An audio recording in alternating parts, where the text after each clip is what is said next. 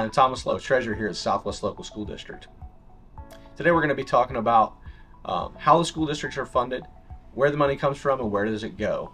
This is going to be part one of a five-part video series on finances here at Southwest Local School District.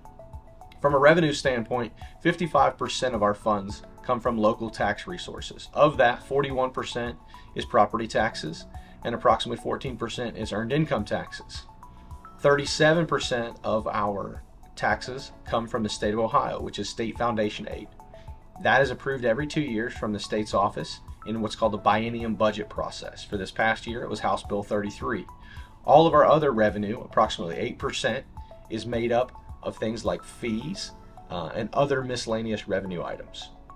Here at Southwest, we spend about $48.6 million a year in expenses. Of that, 68% or 32.8 million is made up of people. We're a people-based business. People are what we do. We have teachers and aides to serve our kids in the community. Services here at Southwest make up 24% of our budget or $11.6 million.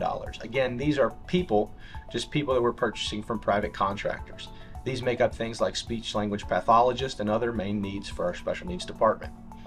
The remaining 8% of materials, capital, and other make up things like buses and laptops and curriculum materials or paper.